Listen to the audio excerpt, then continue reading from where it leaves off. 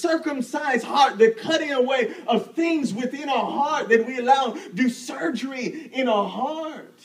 We allow him to work in our heart. That that is true worship. That is true worship. That is a genuine relationship with God. It's not external works. It's it's not can I be real? It's not feeding the poor. You know, the, the Bible says to do that, but even people that don't know the Lord do those type of things.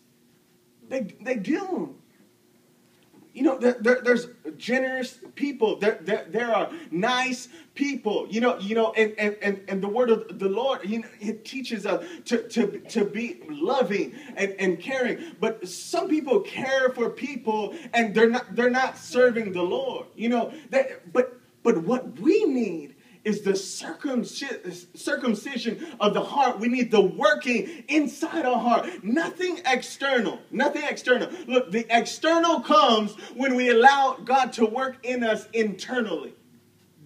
We'll do the external. But as long as we try to do the, exter- the external, and, and, and we, we try it over and over, but we don't allow the Lord to do the internal, then it will never bring satisfaction and we'll never meet our goal. We'll never have the joy of the Lord. We'll, we'll never be faithful because we haven't allowed Him to do an internal work.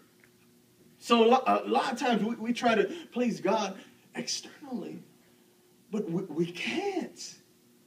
Like, like we, we, we can't we can't get it right externally. We, can, we cannot. The only way we get it right is to let Christ come into our lives and, and, and, and wash us and, and purify us and break things off our life. Like the only way we can get it right is abiding in Christ.